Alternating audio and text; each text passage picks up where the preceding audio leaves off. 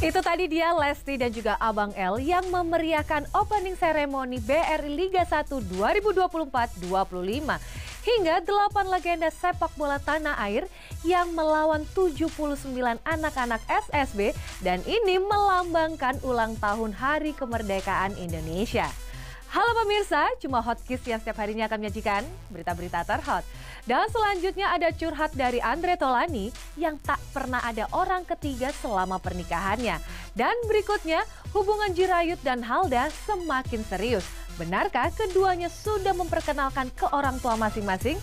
Ada pula berita dari Aliando Syarif yang terang-terangan ingin segera memiliki kekasih.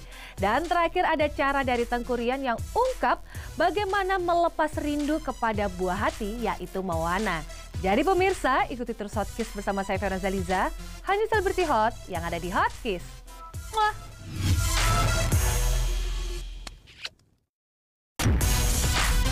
Pemirsa, selama pernikahan Andre Tolani tak pernah sekalipun berpikir untuk berselingkuh. Walaupun ada pertikaian di antara mereka berdua, tetapi segera baikan. Seandainya mereka berpisah, kita tentunya mengharapkan semoga hubungan antara Andre Tolani dan juga sang istri dapat terjalin dengan baik. Dan selanjutnya pemirsa, seperti apakah berita terhot dan juga terupdate dari artis Indonesia lainnya yang akan dirangkum di segmen Hot Kiss Update. Dan pindahkan channel Anda, Liza akan kembali selayang saat ini.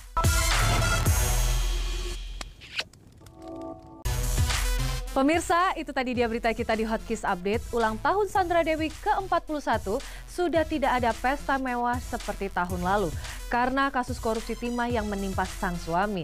Ada pula kemesraan dari El dan juga Syifa Haju yang sudah tidak malu untuk mengungkapkan kemesraan mereka di depan umum.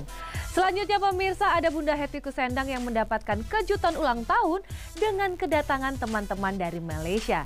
Dan terakhir di tengah kesibukan dari Tengkurian, dirinya selalu membawa boneka untuk mengobati kerinduan kepada sang anak. Seperti apakah beritanya? Liza akan kembali selayang saat ini.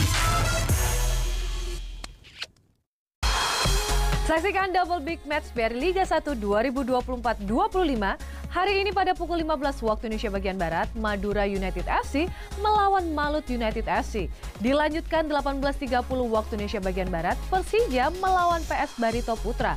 Live eksklusif Indonesia dan video.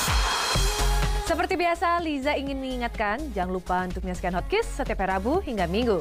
Tak terasa sekarang kita berada di akhir acara, saya Ferin Salisa pamit, hanya seperti Hot yang ada di Hotkiss.